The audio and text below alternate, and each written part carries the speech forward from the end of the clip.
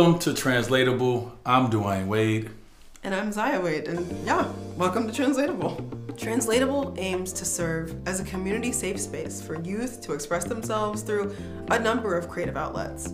Here at Translatable, we focus on communities of color, center the most marginalized, and emphasize the importance of parents and family.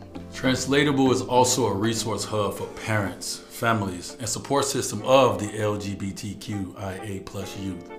For our family, we were blessed to have a community of supporters and knowledgeable experts who could swiftly arm us with the tools we needed to support Zaya in her journey. We recognize the lack of digestible and relatable information available to youth and families, especially communities of color. And to this day, we are still learning. I'm so very proud of the daughter that I've had the opportunity to raise. She has been my biggest educator and inspiration of what it means to be true to you. That's why it's so important to create a collaborative space for the community to participate in the conversation and express themselves freely. Now let's have some fun. Over the next few months, we'll be rolling out content, resource guides, and interactive features where we can hear from you. We want to emphasize that the learning never stops. You can expect to see ever evolving content and resources to keep you up to date on Translatable. So make sure to sign up for email updates. We're just getting started.